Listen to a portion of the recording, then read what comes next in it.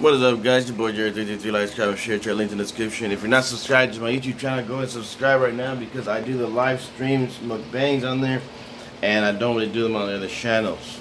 So, um, the subscribe I'm gonna do right now in like 15 minutes. Uh, a mukbang. I'm gonna eat some food. I'm probably gonna eat some fresh food and some leftover food from yesterday because I have some leftovers from what is that place, that restaurant called? I spent like 50 bucks there. Um, it doesn't show it all in the video, but it was. I got some cheesecake and other stuff I haven't uploaded yet.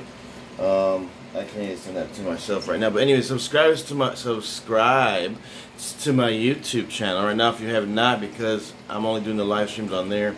The reason why I don't like doing the live streams on TikTok is it doesn't save the video. I don't like. I like all my stuff being saved.